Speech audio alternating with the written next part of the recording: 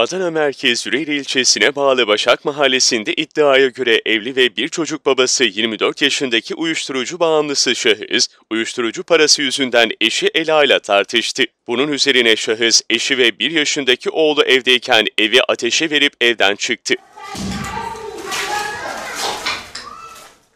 Yangın kısa sürede bütün evi sararken çevredekilerin ihbarı üzerine olay yerine itfaiye ve polis ekipleri sevk edildi. Bölgeye gelen itfaiye ekipleri Halil Çelik'in eşini ve bir yaşındaki oğlunu evden çıkarıp yangına müdahaleye başladı. Evini yakan şahıs bu sefer de sokağa tabancayla girerek itfaiyeye neden evi söndürüyorsunuz diye bağırıp ateş açtı. Bu sırada tabancadan çıkan kurşunlar şahsın aynı sokakta oturan 14 yaşındaki kız kardeşi Kübra'ya isabet etti. Benim okul yazarım yok. Ama onların sayesinde bir de kızım okula gidiyor ya. Ne cebinde ne bulduysam kızımı okutturuyorum.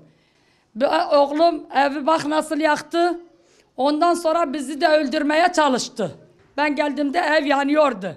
İmdat imdat diye bağırmaya çağırdım. Komşular bir kısmı çıktı, bir kısmı da kaynılarım yakın, yakınımda. Geldiler, itfaiye de geldi, polisler de geldi. Bir baktık orada sıkmaya başladı. Aileyi öldürecek. Kız kardeşine mi isabet? İsabet etti. İki bacağından vuruldu. Ben iki seneden beri işkence yaşıyorum. Ük- 100 kiloydum. Ölüyorum şu an. Kübra her iki bacağına da isabet eden kurşunlarla yaralandı. Kız kardeşinin yaralandığını fark eden şahıssa olay yerinden kaçtı. Kız çocuğu ambulansla hastaneye kaldırılırken tedavisinin ardından taburcu edildi. Yangında evin içi ise küle döndü ve kullanılamaz hale geldi. Adana Emniyet Müdürlüğü'ne bağlı ekipler önce evini yakan, sonra da kız kardeşine dehşeti yaşatan şahsı yakalamak için çalışma başlattı. Ben şu an okulda olmam gerekiyor gerekiyorken ben yataktayım. Ben çok korktum. Ayağımı gördüğümde psikoloji bozuldu. Doktor beni yatırıyor. Ben ayağıma bakıyordum.